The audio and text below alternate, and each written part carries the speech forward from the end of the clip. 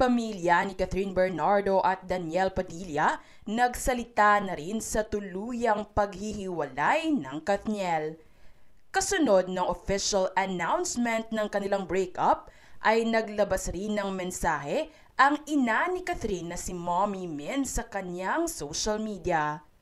Kasama ang larawan ni Daniel at Catherine at ang kanilang milyon-milyon ng mga fans, Kathniels, Kath Cakes, Solid DJ, maraming maraming salamat sa inyo. Hindi dito nagtatapos ang ating pagsasama.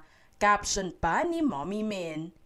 Maging ang aktres at mommy ni Daniel na si Carla Estrada ay nagpatid rin ng pagmamahal sa Kathniel kasama ang kanilang throwback photo.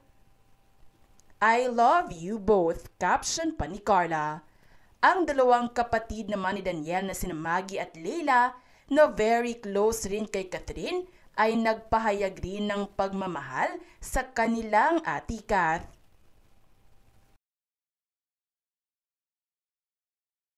Labis ngang ikinalungkot hindi lang ng mga Kathniel fans at netizens, kundi maging mga malalapit na kaibigan ng Kathniel ang naging paghihiwalay ng showbiz couple.